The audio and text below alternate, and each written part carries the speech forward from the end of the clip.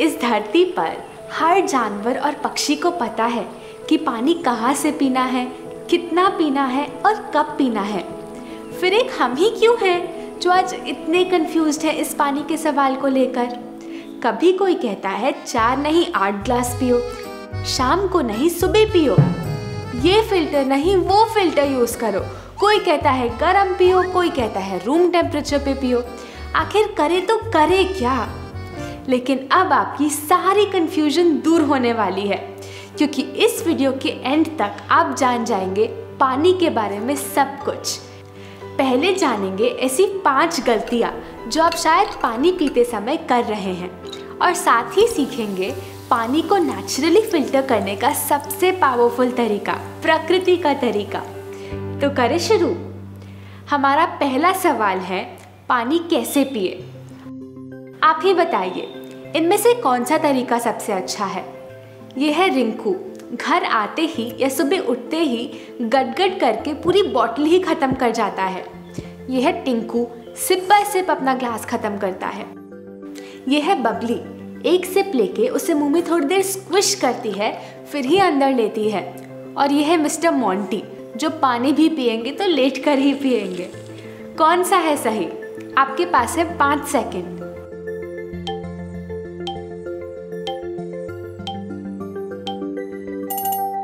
सबसे अच्छा तरीका है मिस बबली का।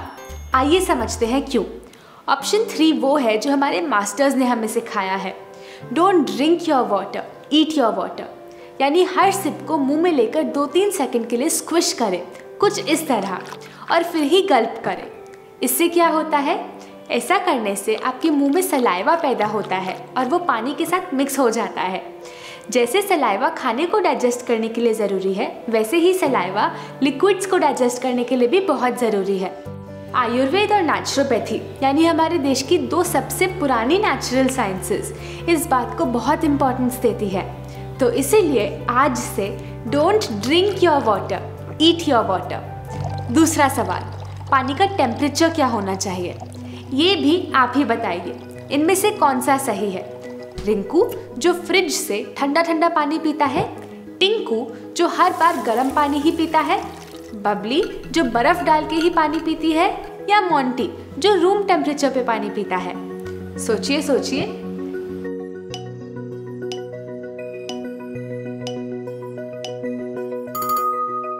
सही जवाब है ऑप्शन फोर रूम टेम्परेचर पानी। पानी ज़रूरी है कि रूम टेम्परेचर पे ही ले। क्योंकि ज़्यादा ठंडा या ज़्यादा गर्म पानी दोनों ही बॉडी के लिए मिनी शॉक्स की तरह होते हैं। बॉडी को दुगनी मेहनत करनी पड़ती है उस पानी को पहले रूम टेम्परेचर पर लाने पर और फिर ही पूरे शरीर में भेजने पर। अब अगर गर्मियाँ ज़्यादा है और आपको ठंडा पानी पीने का मन करता है तो सबसे बेस्ट तरीका है अर्दन पॉट्स पानी को मिट्टी के मटके में स्टोर करें। वो पानी को उतना ही ठंडा करेगा जितनी आपकी बॉडी के लिए सही है। और जब सर्दियाँ हो तो पानी को थोड़ा ल्यूकवार्म करके ले सकते हैं। बस कभी बहुत ठंडा या बहुत गर्म पानी ना ले। तीसरा सवाल, खाने के साथ पानी कितना ले? पहला है रिंकू। ये खाने के साथ साथ हर तीसरी बाइट पे पानी पीता है। दूसरा है टिंकू, जो खाने से एकदम पहले एक गिलास पानी पी लेता है। फिर है बबली, जो पानी को खाने के साथ कभी लेती ही नहीं। और लास्ट है मोंटी ये खाने के बाद एक ग्लास पानी पीते हैं ताकि खाना गले से नीचे उतर जाए। आपको क्या लगता है, कौन इनमें से ठीक कर रहा है?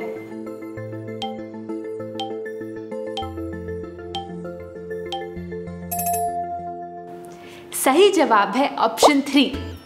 ये गलती बहुत ज़रूरी है समझनी।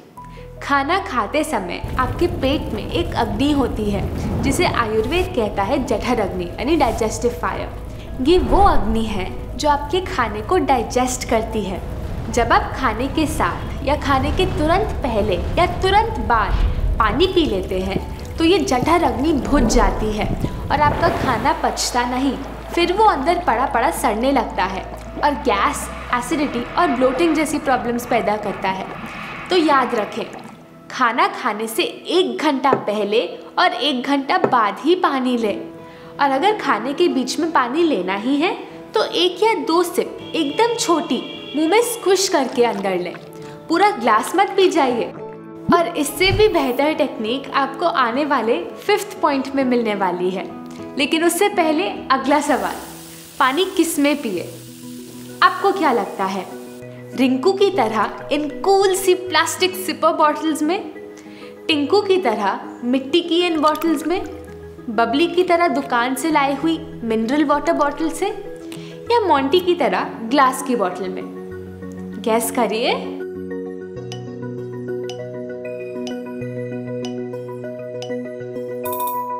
सही जवाब है एक नहीं दो। मिट्टी बॉटल्स और ग्लास बॉटल्स दोनों ही सही है। लेकिन कोई भी तरह की प्लास्टिक बॉटल्स एकदम बेकार। जो बाज़ार में प्लास्टिक बोतल में पानी मिलता है, ये डेड वाटर होता है। इसमें कोई जान नहीं होती। सोचिए कितने हफ्तों पहले फैक्ट्री से पैक होकर बाहर निकलता है। कितने दिनों तक गोडाउन्स वेयर हाउसेस और दुकानों में पड़ा रहता है। और कितने महीनों बाद आपके हाथ में पहुँचता है। ये पानी जो हम प्लास्टिक की बॉटल्स में खरीद खरीद कर पीते हैं, ये फ्रेश वाटर नहीं होता।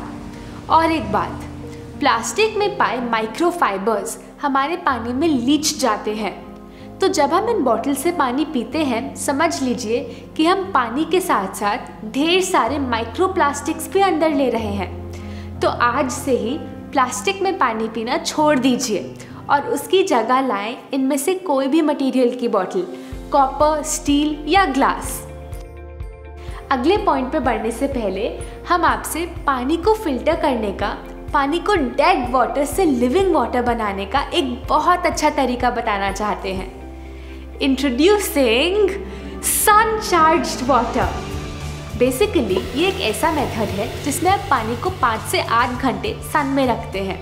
इस समय वो पानी सन की एनर्जी और सन की हीलिंग प्रॉपर्टीज़ को अब्जॉर्ब कर लेता है। तो पानी सन चार्ज करने के लिए इस तरह का मिट्टी का पॉट ले लें। बेस्ट है अगर आपको ऐसे तरीके का पॉट मिल जाए। जो ज़्यादा डीप ना हो और जिसका मुँह वाइड हो। रोड साइड पे जो मिट्टी की बर्तनों की दुकानें होती है, वहाँ से ये आपको मिल जाएगा। बाय चांस ना मिले तो आप ग्लास की बॉटल्स में भी पानी को सनचार्ज कर सकते हैं। उसमें अपने फ़िल्टर का पीने वाला पानी भर ले। किसी पतले कॉटन के कपड़े से ढक दे और बाँध दे ताकि पानी में कोई कीड़े या पत्तियाँ ना गिरे। फिर उसे धूप में पाँच से आठ घंटों के लिए छोड़ दे। मानो सुबह नौ बजे रखा। तो शाम चार से पाँच बजे उसको उठा सकते हैं। फिर उसको बॉटल्स या फिर किसी भी मटके में भरकर दिन भर में वो पानी पीते जाएँगे। Sun charge water is like medicine for the body क्योंकि इस पानी में सनलाइट स्टोर्ड होती है। आप चाहें तो पानी में नौ से दस तुलसी की पत्तियाँ भी डाल सकते हैं। तुलसी की पत्ती पानी में से इम्प्योरिटीज़ को खींचकर उसको नेचुरली प्योरीफाई करती है। ध्यान रहे, इन पत्तियों को खाए ना। अब बढ़ते हैं अपने आखिरी और सबसे ज़रूरी पॉइंट पर। रोज़ पानी कितना पिए? आपको क्या लगता है? तीन लीटर?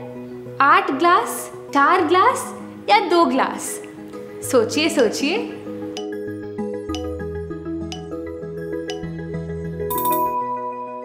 जवाब है, इनमें से कोई भी नहीं। क्यों? क्योंकि कोई बाहर वाला हमें नहीं बता सकता कि हमें कितने ग्लास पानी पीना चाहिए। आपको रोज़ कितना पानी पीना चाहिए ये आपके लाइफस्टाइल पर डिपेंड करता है। आप रोज़ क्या खाते हैं, रोज़ कितना स्वेट करते हैं, पूरा दिन एसी में बैठते हैं या बाहर काम करते हैं, सबकी वाटर की नीड अलग अलग होती है। एक सिंपल टेस्ट है ये जानने के लिए कि आप इनफ पानी पी रहे हैं कि नहीं। सिंपली अपना यूरिन का कलर ऑब्ज़र्व करो। अगर यूरिन डार्क येलो आता है तो मतलब आपकी बॉडी सिवियरली डिहाइड्रेटेड है। और अगर यूरिन एकदम लाइट येलो ऑलमोस्ट वाइट आता है तो मतलब आपकी बॉडी को इनफ पानी मिल रहा है।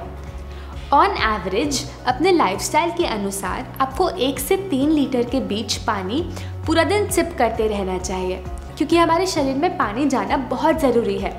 ये हमारे अंदर की सफ़ाई करता है, सारे अंगों को ढंग से काम करने की शक्ति देता है, खून को सर्कुलेट करता है। चलिए, एक और बहुत ज़रूरी बात सीखते हैं। हम सोचते हैं, पानी सिर्फ़ ऐसा दिखता है। लेकिन माँ प्रकृति ने हमें पानी सिर्फ़ ऐसे नहीं दिया, मगर ऐसे ऐसे और ऐसे भी दिया है। जब आप अपनी डाइट को वाटर रिच बनाएँगे एल्केलाइन बनाएँगे तो आप देखेंगे कि आप पहले से कम पानी के गिलास पी के भी पहले से ज़्यादा यूरिनेट कर रहे हैं। और जूसेस फ्रूट्स और वेजिटेबल्स में सबसे purest form of water stored होता है। जो सीधा माँ प्रकृति के फिल्टरेशन सिस्टम से गुजर के आता है और न्यूट्रिशन से भरा हुआ होता है। तो इस वीडियो में आपने इतना कुछ सीख लिया। अगर आपको कुछ भी नहीं समझ आया तो बस इन पाँच पॉइंट्स को याद रखें। नंबर वन पानी को ड्रिंक नहीं ईट करें। नंबर टू फ्रिज या आइस के साथ नहीं, पानी को रूम टेम्परेचर पे लें। नंबर थ्री प्लास्टिक में पानी ना पिए। नंबर फोर खाने के दौरान तुरंत बाद या तुरंत पहले पानी ना पिए और नंबर फाइव पानी की क्वांटिटी से ज़्यादा पानी की क्वालिटी पर ध्यान दें। अगर आप सात्विक लाइफ के बारे में और जानना चाहते हैं तो हमारी हेल्थ ट्रांसफॉर्मेशन वर्कशॉप ज़रूर अटेंड करें। ये वर्कशॉप हर वीकेंड होस्ट होती है और आप इसे घर बैठे बैठे ही अटेंड कर सकते हैं। वर्कशॉप के लिए रजिस्टर करने के लिए यहाँ क्लिक करें। हमें नीचे कमेंट्स में बताएँ कि आप अगली वीडियो किस टॉपिक पे देखना चाहते हैं। और इस वीडियो को अपनी फैमिली के साथ ज़रूर शेयर करें, ताकि वो भी आपके साथ ये हैबिट अपना पाएँ। अभी के लिए इतना ही।